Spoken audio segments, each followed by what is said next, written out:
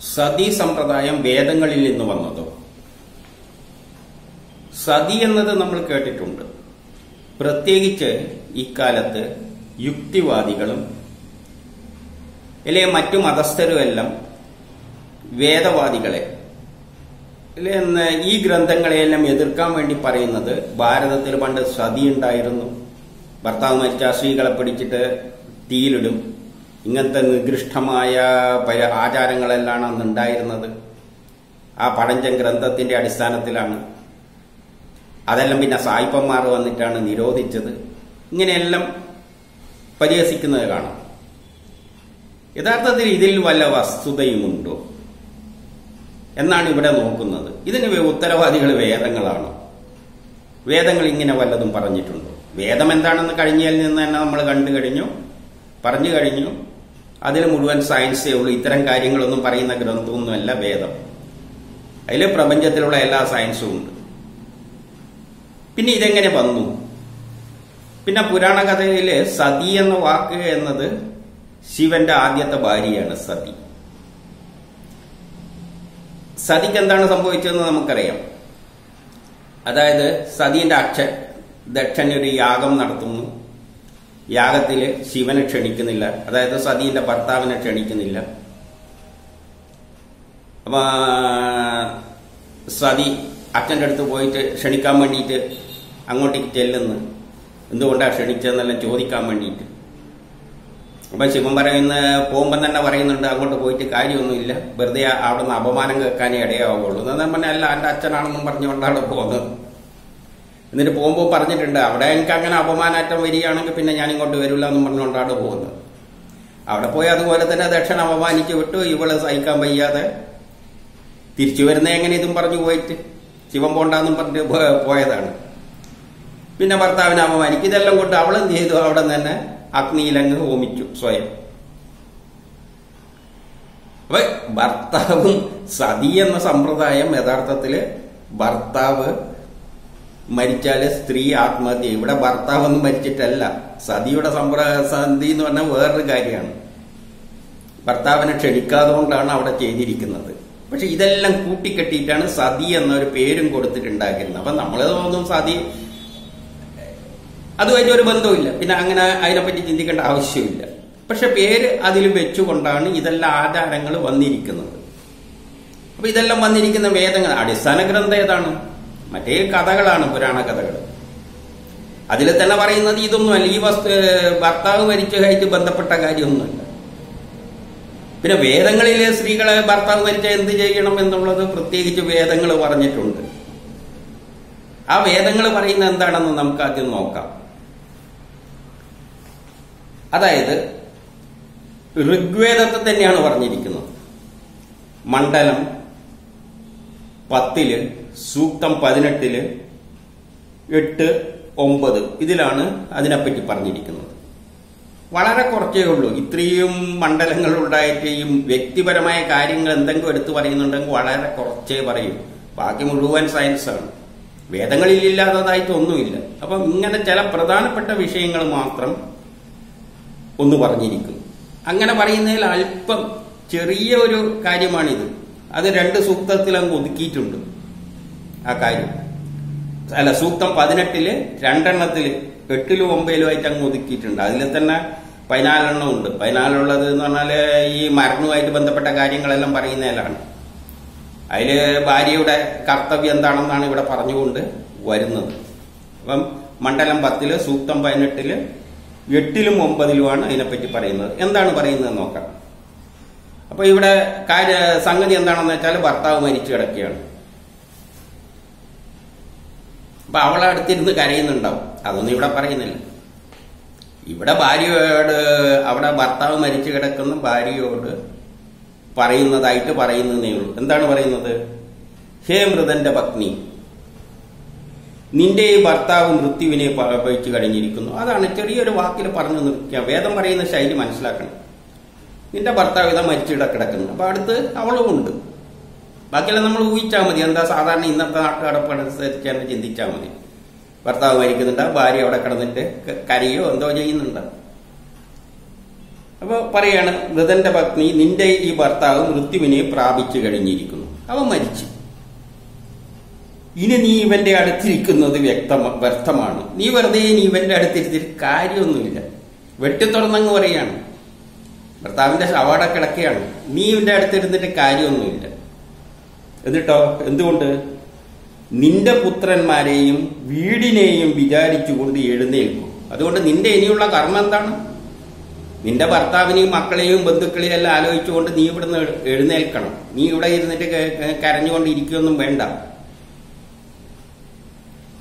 എന്നിട്ടോ? നിന്റെ പതിയോടുകൂടി ഗർഭധാരണാദികളായി സ്ത്രീകൾക്കുള്ള കർത്തവ്യങ്ങൾ നിറവേറ്റിക്കഴിഞ്ഞിരിക്കുന്നു. അതായത് ഇതുവരെ ഭർത്താവ് ഒത്ത് കുട്ടികളെ എല്ലാം പ്രസവിച്ച് എല്ലാം ആ ധർമ്മങ്ങളെല്ലാം നീ ഇതുവരെ ചെയ്തു കഴിഞ്ഞു. നീ ചെയ്യേണ്ട എല്ലാം ചെയ്തു കഴിഞ്ഞിട്ടുണ്ട്. ഇനി ഇവിടെ ഇരിക്കേണ്ട അർത്ഥമൊന്നുമില്ല. കാരണം ഭർത്താവ് വിട്ടുപെറിഞ്ഞു പോയി. മരിച്ചു കഴിഞ്ഞു. പിന്നെയോ? അതുകൊണ്ടോ? ഇവന്റെ പ്രാണൻ വിട്ടുപിരിഞ്ഞ വിവരം നീ അറിഞ്ഞിരിക്കുന്നു. നീ മനസ്സിലായി ഇവന്റെ പ്രാണം പോയി കഴിഞ്ഞു. അതുകൊണ്ട് അതിനാൽ ഭവനത്തിലേക്ക് മടങ്ങുക. നീ നിന്റെ വീട്ടിലേക്ക് പോവുക. സാധാരണ ഭർത്താവിന്റെ കൂടെയാണ് താമസിക്കുക. അപ്പം ഭർത്താവിന്റെ വീട്ടുകാരോടൊത്തായിരിക്കാം. അപ്പൊ ഇനിയിപ്പോ ഇവിടെ നിന്ന് കഴിഞ്ഞാൽ എനിക്ക് രക്ഷയൊന്നുമില്ല. അപ്പൊ നീ എന്ത് ചെയ്യുക? നിന്റെ മക്കളെയും കുട്ടികളെയും കുടുംബത്തെയും എല്ലാം ആലോചിച്ച് നീ നിന്റെ വീട്ടിലേക്ക് പോവുക. നിന്റെ വീട് എന്ന് പറഞ്ഞാൽ സ്വന്തം വീടുണ്ടെങ്കിൽ അവിടെ പോവുക അല്ലെങ്കിൽ എവിടെയാന്ന് വെച്ചാൽ അവിടെ ഇഷ്ടമുള്ളിടത്ത് പോവുക. ഇതേ അവസ്ഥ പറഞ്ഞിട്ടുള്ളൂ. അപ്പൊ ഒരു സൂക്തത്തിൽ ഇത്രയും കാര്യങ്ങൾ വെട്ടിത്തുറന്ന് പറഞ്ഞു കഴിഞ്ഞു. എന്റെ രണ്ടാമത്തേൽ പറയുന്നത് എന്താണെന്ന് വെച്ചാൽ എട്ട് കഴിഞ്ഞ് ഒമ്പതിൽ സന്താനാദികളുടെ രക്ഷക്കും ഈ കുട്ടികളുടെ രക്ഷയ്ക്ക് വേണ്ടി തേജസ്സിനും അതായത് അവരെ നല്ല നിലയിലേക്ക് എത്തിക്കണം. അവരുടെ തേജസ്സിനും വേണ്ടി ബലത്തിനും വേണ്ടി. അവർക്ക് സംരക്ഷണം കൊടുക്കണ്ടേ? ചെറിയ കുട്ടികളെല്ലാണെങ്കിൽ അവർ ഇതെല്ലാം വേണപ്പോ രക്ഷ വേണം അവർക്ക് തേജസ് ഉണ്ടായി കൊടുക്കണം. പിന്നെയോ ബലത്തിനു വേണ്ടി അവരുടെ ബലത്തിന് ഒരു പിൻബലത്തിനു വേണ്ടി മൃതന്റെ പക്കൽ നിന്നും ഈ മരിച്ചു കിടക്കുന്ന ആളുടെ പക്കൽ നിന്നും ഞാൻ വില്ലു ഊരിയെടുക്കുന്നു. ഞാൻ വില്ല് ഊരിയെടുത്തിട്ടാണ് പോകുന്നത്. എവിടത്തേക്ക്? വീട്ടിലേക്ക്. വില്ലൂരിയെടുക്കാൻ. ഇതുവരെ അവനാണ് വില്ലുപയോഗിച്ചിട്ട് എന്തൊക്കെ എതിർപ്പെല്ലാം ഉണ്ടെങ്കിൽ നേരിട്ടിരുന്നത്. അതുകൊണ്ട് ഇവളോട് പറയാം നീ വില്ലൂരി എടുത്തിട്ട് പുറപ്പെടുക. എന്നിട്ടോ ഞങ്ങൾ വീരസന്താനങ്ങളോട് കൂടിയവരാ വരും. ഞങ്ങളുടെ അഹങ്കാരികളായ വൈരികളെ പരാജയപ്പെടുത്തുന്നവരും ആകണേ. അതായത് എന്റെ മക്കൾ ധീരരായി വളരണേ. എനിക്ക് ഇവരെയെല്ലാം ശത്രുക്കളിൽ നിന്ന് കാരണം അറിയാലോ. ഭർത്താവ് മരിച്ച ഒരു സ്ത്രീ സമൂഹത്തിൽ നേരിടാൻ പോകുന്ന പ്രശ്നങ്ങൾ എന്താണെന്ന് ഒറ്റ വാക്കിൽ ഇവിടെ സൂചിപ്പിക്കുകയാണ്. അതിനെന്ത് വേണം? അവന്റെ വില്ലു എടുത്തിട്ട് നീ ഇറങ്ങണം. സംര സ്വരക്ഷയ്ക്ക് വേണ്ടിയും എല്ലാം നീ ഇറങ്ങിക്കൊള്ളണം. കാരണം സമൂഹം ഇനി നിന്നെ നീങ്ങുന്നത് എങ്ങനെയാണെന്ന് അപ്പൊ അതിനെ ധീരമായി നേരിടുക. അവന്റെ വില്ലു എടുത്തിട്ട് എല്ലാത്തിനും തയ്യാറായിക്കൊണ്ട് നീ ഇറങ്ങിക്കൊള്ളുക എന്നാണ് പറയുന്നത്. എന്നിട്ട് ഹേ മൃതക എന്നിട്ട് മരിച്ച ആളോട് പറയാ നീ ഇവിടെ കിടക്ക് നീ ഇവിടെ തന്നെ വസിച്ചുകൊള്ളു നീ ഇവിടെ കിടന്നു. ഇതാ ഞാനിതാ പോകുന്നു എനിക്ക് വേറെ ഉത്തരവാദിത്വമുണ്ട്. ഏത് മക്കളെയെല്ലാം സംരക്ഷിക്കാനും അവരെ വളർത്തി നല്ല നിലയിൽ എടുക്കാനും അതിനെന്ത് വേണം? അവൻ വില്ലും കൂടി എടുത്തിട്ടേ പോകുന്നുള്ളൂ. വേറെ ഒന്നും എടുക്കുന്നില്ല. അവന് പോവുകയാണ്. ഇതാണ് ഒരു സ്ത്രീയുടെ ധർമ്മമായിട്ട് വേദങ്ങളിൽ പറഞ്ഞിരിക്കുന്നത്. അതും ഏതെങ്കിലും വേദത്തിലല്ല ഋഗ്വേദത്തിൽ. ഇതിനെയാണ് നമ്മൾ എന്താക്കി മാറ്റിയത്? സ്ത്രീകൾ ഭർത്താവ് മരിച്ചാൽ ചാടിക്കോളോ തീയിൽ. എന്തുകൊണ്ട് ഇത് വന്നു? അപ്പൊ അന്നത്തുള്ള ഇതൊന്നും വേദത്തിലുള്ള ഒന്നല്ല. അന്നത്തെ അധികാര സ്ഥാനത്തുള്ള ചിലവർക്ക് ഭർത്താവ് മരിച്ചു പോയാൽ സ്ത്രീകൾ ഒരു ഭാരമായി തോന്നിയിരിക്കാം. അതുകൊണ്ട് അവർ കണ്ടെത്തിയ ഒരു മാർഗമായിരിക്കാം. പക്ഷെ ഇതെല്ലോ ഒരാൾ പറഞ്ഞു കഴിഞ്ഞാൽ അത് വലിയ പ്രശ്നങ്ങളാണ്.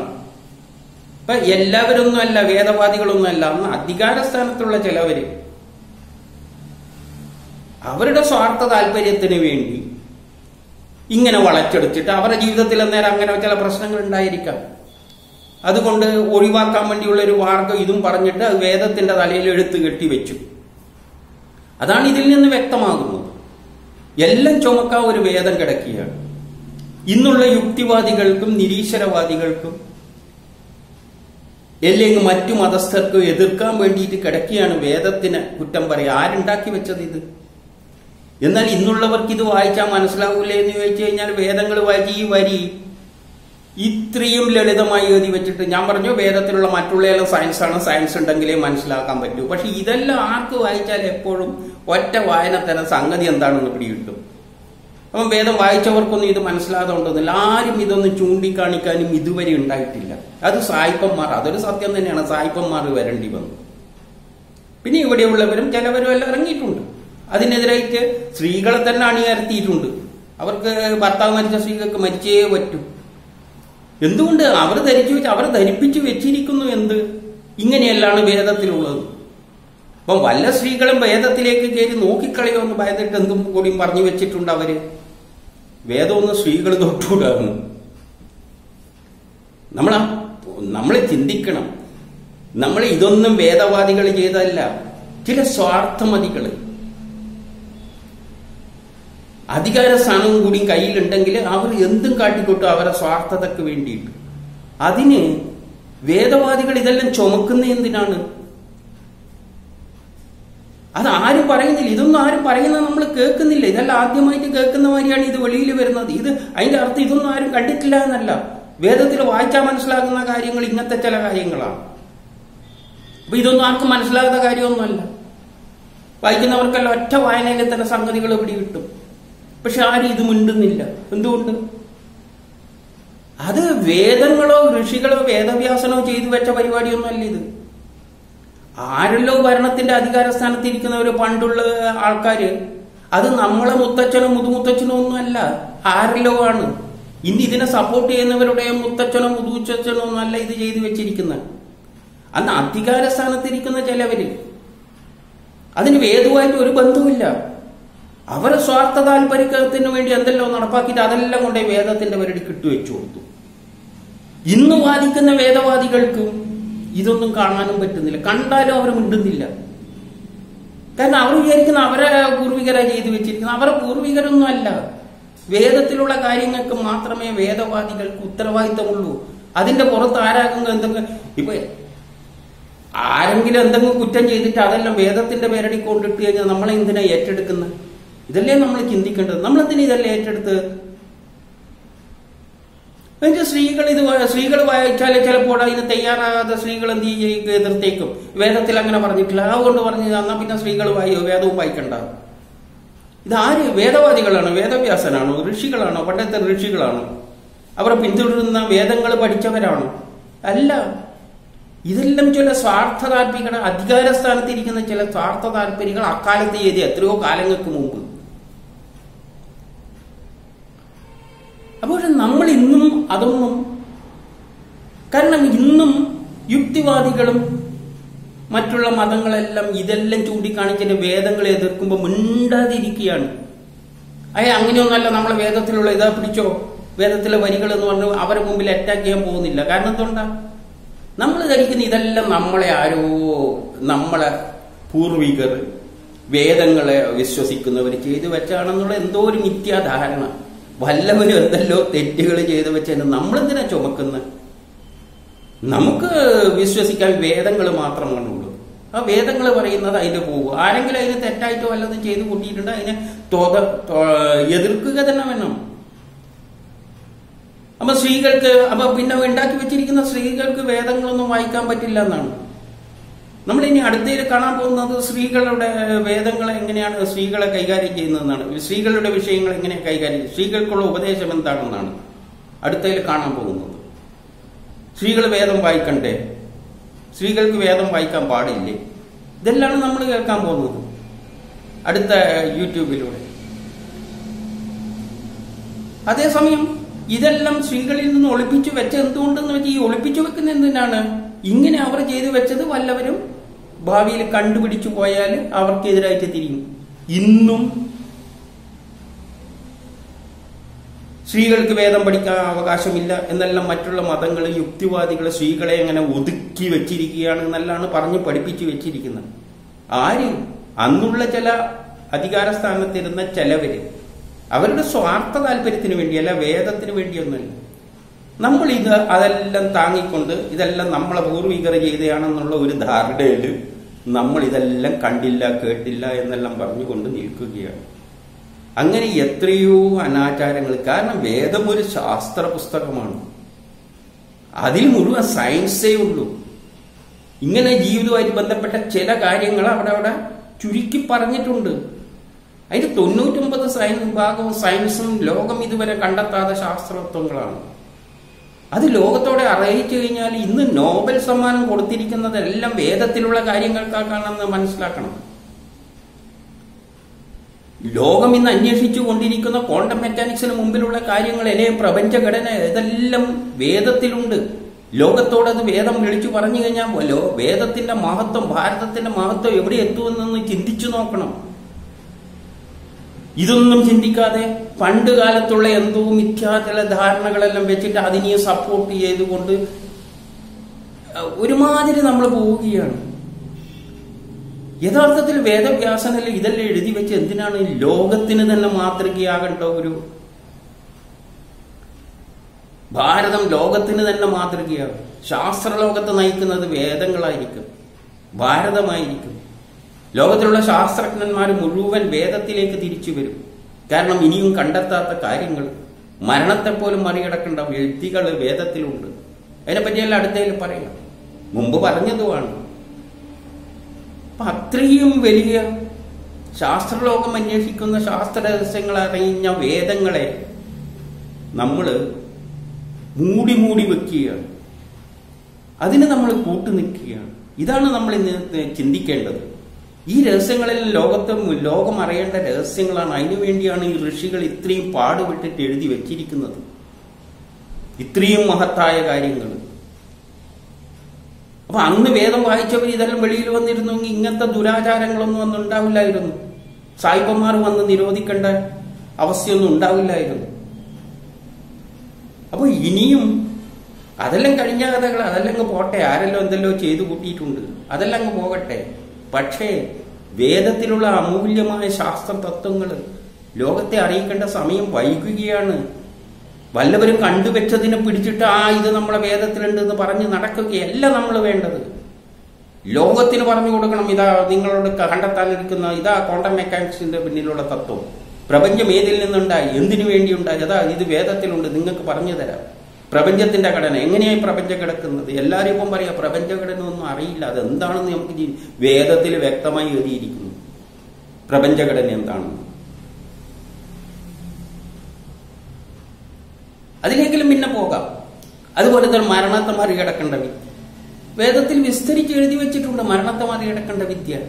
മരണത്തെ മറികടന്നവരുണ്ട് താനും. അവരിങ്ങനെ അപ്പൊ അങ്ങനെ സുഖമായിട്ട് മരണമില്ലാതെ പ്രപഞ്ചം നശിക്കുമ്പോഴേ അവർ നശിക്കുള്ളൂ. അങ്ങനെ അങ്ങനെ ഉള്ളവരുണ്ട് പക്ഷെ അതിന്റെ പിന്നിലുള്ള രഹസ്യം ഇപ്പോൾ ഞാൻ പറയുന്നില്ല. അതല്ല അത് ആ വിഷയങ്ങൾ അവതരിപ്പിക്കുന്ന സമയത്ത് പറയാം. വേദങ്ങളിലേക്ക് ജനം തിരിയുമ്പോൾ ആ സമയത്ത് പറയാം. കാരണം അതൊരു സസ്പെൻസ് ആയിട്ട് ഇരിക്കട്ടെ. ഇപ്പോഴും ഉണ്ട്. മരണത്തെ മറികടന്നിട്ട് ചിലവരെല്ലാം ഉണ്ട്. പക്ഷേ അതിന് അതിന്റെതായ ചില പാളിച്ചകളെല്ലാം ഉണ്ട്. അതെല്ലാം എന്താണെന്ന് ആ വിഷയം കൈകാര്യം ചെയ്യുമ്പോൾ പറയാം. കാരണം അത് ഉപനിഷത്തിൽ ആര് വായിക്കുന്നവർക്കറിയാം മൃത്യുഞ്ജയ മന്ത്രം ഉണ്ട്. മൃത്യുവിനെ ജയിക്കുന്ന മന്ത്രം തന്നെ അതിന്റെ അർത്ഥം. അല്ലാതെ ദുഃഖം ഇല്ലാതാക്കുന്നതല്ല. അത് ഉപനിഷത്തിൽ പ്രത്യേകം പറഞ്ഞിട്ട് വെച്ചിട്ടുണ്ട്. നിങ്ങൾക്ക് മരണത്തെ മറികടക്കാൻ ഇതാ വഴി എനിക്ക് തരാം. നീ മറ്റേ ബ്രഹ്മസാക്ഷാത്കാരമൊന്നും വേണ്ട. നിനക്ക് മരണത്തെ മറികടക്കാനല്ല അവിടെ പോയിട്ട് ഇങ്ങനെ ഇങ്ങനെയെല്ലാം സുഖമായിട്ട് ജീവിക്കാം. മരണം ഉണ്ടായാലും എന്നൊന്നും അതേ വയസ്സായിരിക്കും വയസ്സ് കൂടില്ല എന്നെല്ലാം പറഞ്ഞുകൊണ്ട് വെച്ചിട്ടുണ്ട്. അത് എവിടെയാ ഉള്ളതെന്ന് പറഞ്ഞിട്ടുണ്ട് ഋഗ്വേദത്തിലുണ്ട്. അത് അഗ്നിയുടെ സഹായത്താലാണ് അതെല്ലാം നേടിയെടുക്കേണ്ട. അഗ്നി വിദ്യയെല്ലാം അവിടെ ഉപദേശിച്ചിട്ടുണ്ട്. എന്നെല്ലാം പറഞ്ഞു വെച്ചിട്ടുണ്ട്. അപ്പൊ ഇത്രയും മഹത്തായ ജ്ഞാനമുള്ള വേദങ്ങളെ അപ്പം ചിലവർക്ക് തോന്നി ഇവനെന്താണെന്താ മരണം വയസ്സ് കൂടാതെ എന്നെല്ലാം തോന്നും. ഞാൻ പറഞ്ഞല്ലോ. ആ പറയുന്നതിലും അത് അത്ര നിസ്സാരമായി സാധിക്കണ്ടല്ല അതിന് ഭയങ്കര ടെക്നോളജി എല്ലാം വേണം. ആധുനിക ടെക്നോളജി വളരെ വലിയ ടെക്നോളജി എല്ലാം വേണം. അതൊന്നും ഒരു ഒരാൾക്ക് സാധിക്കുന്നില്ല. പിന്നെ ഇനി ആയിക്കഴിഞ്ഞാലും അതിന് ചില പാളിച്ചകളെല്ലാം ഉണ്ട്. അതെല്ലാം എന്താണെന്ന് ആ വിഷയത്തിലേക്ക് കിടക്കണം. അത് സസ്പെൻസ് ആയിട്ട് കിടക്കട്ടെ. ഏത്? ഓം എന്ന മന്ത്രത്തിന്റെ അർത്ഥം എന്താണ്? ആദിമ മന്ത്രമാണ് ഓം. ഓം എന്താണ്? അത് വ്യക്തമായിട്ട് പറയാൻ പറ്റാത്തതുകൊണ്ടൊന്നുമല്ല. അത് സസ്പെൻസ് കിടക്കട്ടെ. അവിടെ ചുവട്ടിലേ പറഞ്ഞു കൊടുക്കാൻ പാടും വേറെ ആരോടും പറയാൻ പാടില്ല. എന്തിനാ സസ്പെൻഷൻ കിടക്കുന്നത് ആ ഒരു ആകാംക്ഷ ഉണ്ടാകുമ്പോൾ മാത്രമേ നമ്മൾ വേദത്തിലേക്ക് തിരിയുകയുള്ളൂ. അപ്പൊ വേദത്തിലേക്ക് തിരിയുന്ന സമയത്ത് എല്ലാവരും വേദത്തിലേക്ക് തിരിയുന്ന സമയത്ത് ഈ മൃത്യുഞ്ജയ മന്ത്രത്തിന്റെ മരണത്തെ മറികടക്കുന്ന വിദ്യയും ഓമിന്റെ അർത്ഥം എന്താണെന്നുള്ളതും എല്ലാം അവിടെ നമുക്ക് വേദത്തിൽ ആ ആകാംക്ഷ ഉണ്ടായാലേ പോവുകയുള്ളൂ വേദത്തിലേക്ക്. അതുകൊണ്ട് ഒരു ആകാംക്ഷ നിലനിൽക്കാൻ വേണ്ടിയാണ് ഇത്രയും പറയുന്നത്. അതിനുള്ള വേദി ഒരുങ്ങുമ്പോൾ അതിനുള്ള വേദി ഒരുങ്ങുമ്പോൾ ഇതെല്ലാം പുറത്തേക്ക് വരും. വേദങ്ങളിൽ നിന്ന്. അപ്പം ലോകം തന്നെ അത് കേട്ടിട്ട് ഒന്ന് പകച്ചു നിൽക്കും. കാരണം അത്രയും വലിയ ശാസ്ത്രതത്വങ്ങളാണ് വേദത്തിലുള്ളത്.